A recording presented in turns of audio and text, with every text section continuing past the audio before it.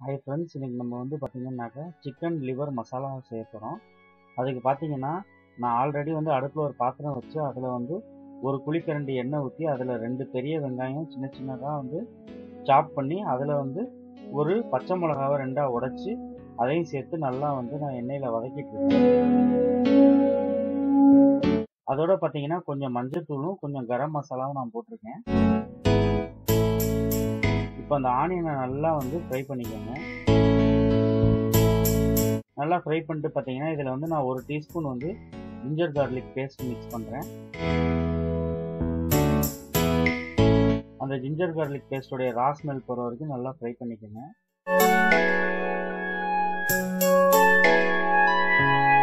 இப்போ அதில் பார்த்தீங்கன்னா ஒரு தக்காளியும் நான் அதில் சேர்த்துக்கிறேன்.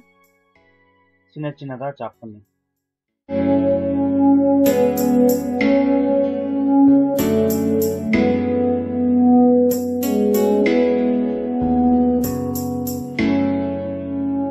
தக்காளி நல்லா குக் ஆகிற மாதிரி நல்லா ஃப்ரை பண்ணிக்கோங்க.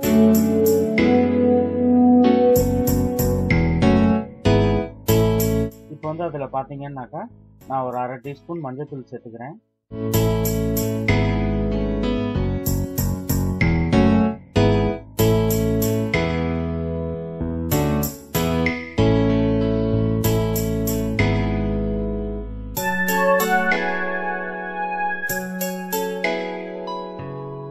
இப்போ வந்து பார்த்தீங்கன்னா அந்த நான் ஆனியன் எல்லாமே நல்லா ஃப்ரை ஆயிடுச்சு.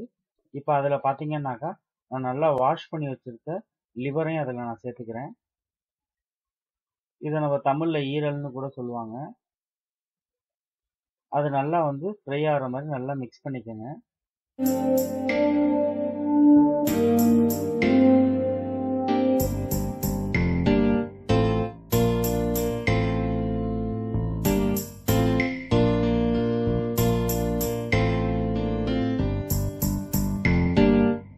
இப்போ பார்த்தீங்கன்னா நல்லா இது அந்த மசாலாவோட சேர்ந்து ரோஸ்ட் ஆகிட்டு இருக்கு அதில் பார்த்தீங்கன்னாக்கா நான் அரை டீஸ்பூன் மல்லித்தூள் சேர்க்குறேன்.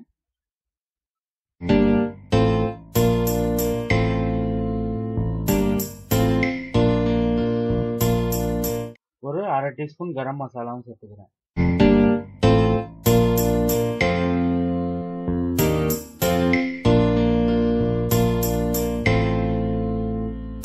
எல்லாமே பார்த்தீங்கன்னா ஒரு கால் கிலோ லிவருக்கு நான் சொல்கிறேன்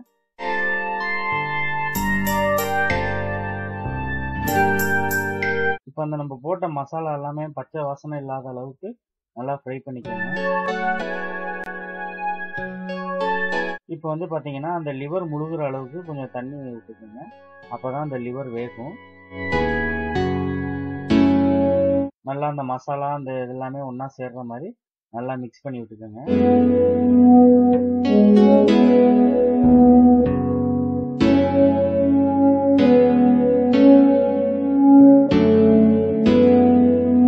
இப்போ பார்த்தீங்கன்னா அந்த மசாலா லிவர் எல்லாமே சேர்ந்து நல்லா கொதிச்சிட்டு இருக்கு இதில் பார்த்தீங்கன்னா ஃபைனலாக நான் வந்து ஒரு ஒன்றரை டீஸ்பூன் வந்து சிக்கன் மசாலா ஆட் பண்ணுறேன் அந்த கிரேவி லைட்டாக கொஞ்சம் திக்னஸ் கொடுக்கறதுக்காக அந்த மசாலா திக்னஸ் கொடுக்குறது சிக்கன் மசாலா மிக்ஸ் பண்ணிங்கன்னா அந்த கிரேவிக்கு ஒரு பாடி கொடுக்கும் அது. நல்லா மிக்ஸ் பண்ணி விட்டுக்கோங்க.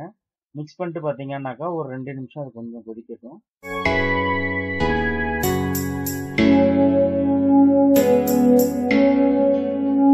இப்போ ஃபைனலாக பார்த்தீங்கன்னா அதில் வந்து கொரியாண்டர் லீவ்ஸும்